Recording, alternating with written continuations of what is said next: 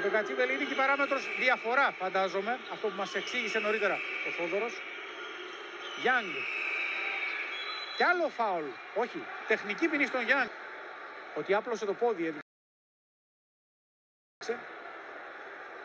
Το αριστερό.